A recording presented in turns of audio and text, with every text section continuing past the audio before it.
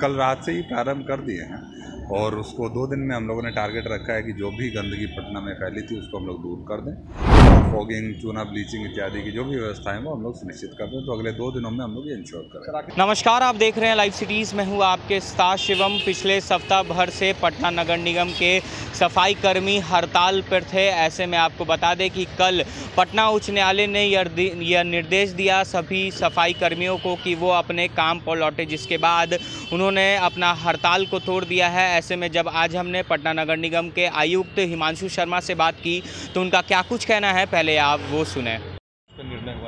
देखिए माननीय उच्च न्यायालय में इस मामले को रखा गया था। माननीय उच्च न्यायालय ने सभी कर्मचारियों को काम पर लौटने का निर्देश दिया है। साथ ही नगर पालिकाओं को और विभाग को भी ये डायरेक्शन दिया है कि जो भी उनकी मांग हैं उन पर एक बार विचार किया जाए। उसमें जो भी लीगली पॉसिबल है उसको किया जाए। सर टाइम फ्रेम कुछ इस हाँ दो महीने का टाइम फ्रेम इसमें दिया गया है इकतीस अक्टूबर तक मोस्ट और जो उनके ड्यूज़ हैं वो एक सप्ताह में क्लियर करने का निर्देश दिया तो कुछ इंपॉर्टेंट मामले जो थे उनके नहीं देखिए पटना नगर निगम में तो चूँकि स्थायी कर्मियों को सभी फैसिलिटीज़ जो एक सरकारी कर्मचारी को मिलती है वो पहले से ही मिल रही है भले ही वो एसीपी का लाभ हो सेवन्थ पे कमीशन का लाभ हो या अन्य जो पेंशन इत्यादि के मामले रहते हैं वो पटना नगर निगम में सभी लागू अनुकंपा का सर मान अनुकंपा का मामला है। अनुकंपा में चूँकि समूह ग पर तो नियुक्ति हो सकती है लेकिन समूह घ के जो पद हैं वो समाप्त हो गए हैं तो उसमें राज्य सरकार के स्तर पर उसका निर्णय लिया जाए क्या सब लोग काम पर वापस लौट आए हाँ? सभी लोग काम पर लौट आए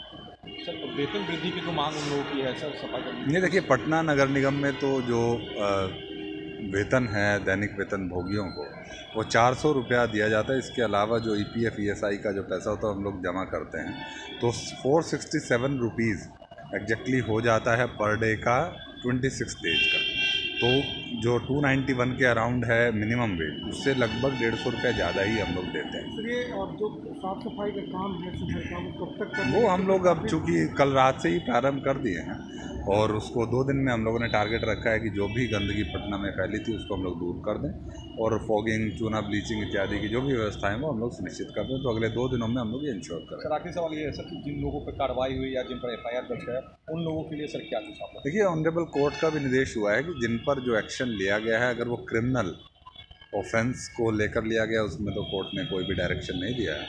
लेकिन क्रिमिनल ऑफेंस के अलावा जो प्रोसीडिंग या किसी प्रकार का एक्शन लिया गया, उस पर कोर्ट ने कहा कि उस पर आप लोग सहानुभूतिपूर्वक विचार कीजिए और रादर उसको विड्रॉ करने की कोशिश तो आपने साफ़ तौर पे सुना पटना नगर निगम के आयुक्त हिमांशु शर्मा का कहना है कि पटना उच्च न्यायालय के निर्देश के बाद जितने भी सफ़ाई कर्मी थे, उन्होंने अपना हड़ताल तोड़ दिया है। वही उन्होंने साफ़ तौर पे कहा कि जिस तरह से पूरे पटना में एक हफ़्ते से जो कूड़े का ढेर जमा था, वो उसकी सफ़ाई जो है, वो दो दिनों तक हो जाएगी। वहीं उन्होंने कहा है कि जिस तरह से पटना उच्च न्यायालय ने यह भी निर्देश दिया है कि जिन अधिकारियों पर पटना नगर निगम ने कार्रवाई की है, वो कार्रवाई अब पटना निगर निगम वापस लेगा। बहरहाल, आप बने रहे हमारे साथ। अगर आपने हमारे चैनल को सब्सक्राइब नहीं किया है तो जल्द से जल्द सब्सक्राइब कर ले। धन्यवाद।